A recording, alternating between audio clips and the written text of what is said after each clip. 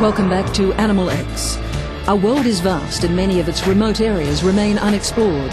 So what could be lurking in isolated outback Australia? Some claim it's a reptile of gigantic proportions, one that goes by the name Megalania.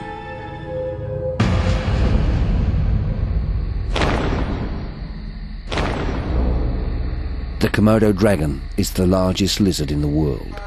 Along with the Australian Perenti, these prehistoric cold-blooded carnivores share a close ancestry with snakes, and like their slithering cousins, they send fear through those who come up against them.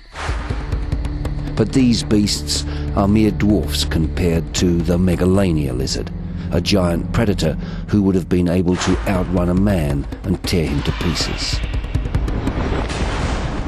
Thought to be an extinct relic of the megafauna age, the Megalania held court in the vast ancient Australian outback for over two million years. Scientists believe this creature last walked these lands over 20,000 years ago. But there are others who believe it's still out there.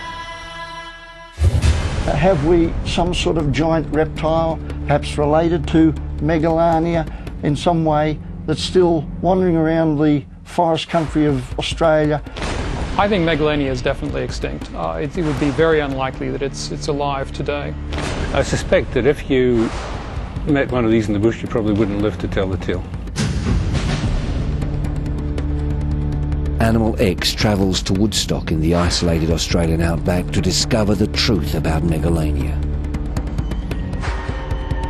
Could it still be alive and living undetected somewhere on this massive continent?